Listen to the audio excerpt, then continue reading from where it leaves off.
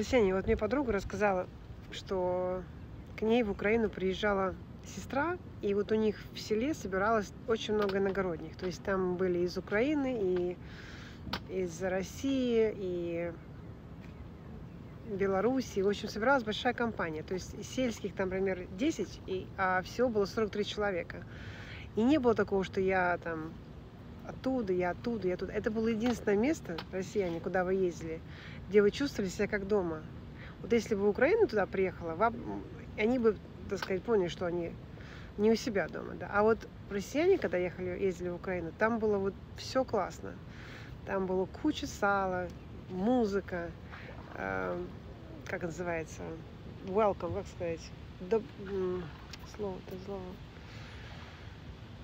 с большой любовью вас встречала Украина, все национальности, и всем было одинаково хорошо, без притеснений, без э, нравоучений, кому на каком языке говорить.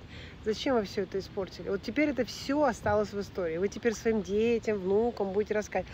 Ванечка, а ты знаешь, а в 2013 году мы ездили в Украину, и там нас встречали из, э, вот, со всеми этими вкусняшками, которые есть только в Украине, да, борщ, который есть только в Украине, сало, которое есть только в Украине, да, и мы брали с собой обратно столько вкусных продуктов, мы везли домой, потому что только в Украине нас сдали с таким теплом и с, таким, с такой радостью. А ваши дети будут, что серьезно? Что можно было ездить в Украину? И нас там любили? Да? Сказать, да, да, и там у меня куча фотографий, мы каждый год ездили. Каждый год мы там проводили, мы детей туда отправляли на все лето, потому что ну где можно отдохнуть так классно, как не в Украине? У бабушки, там, у сестры, у не знаю, у папы, у мамы. Ну, точнее, если там родители э, жили по разные стороны двух стран. Вот, и, и дети такие, вау, а зачем же тогда война?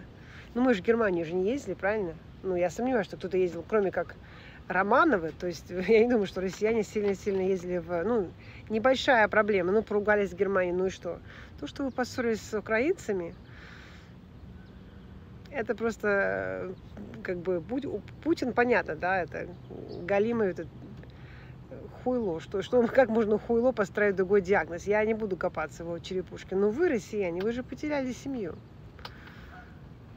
Вы потеряли, не знаю, самую лучшую часть своей жизни.